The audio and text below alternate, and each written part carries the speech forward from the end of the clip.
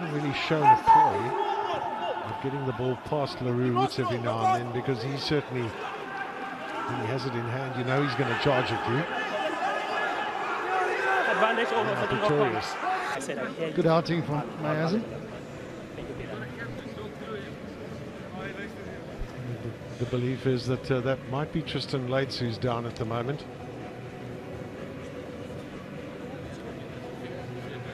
Willie Engelbrecht, as we've seen during the course of the season, is very similar player to him. Very similar. So of course the game is uh, delayed until the medical staff have managed to sort out everything that's required. And meanwhile, Dan du Plessis, as we said, is already on the park. And uh, we'll hope that Tristan Leyds will be okay.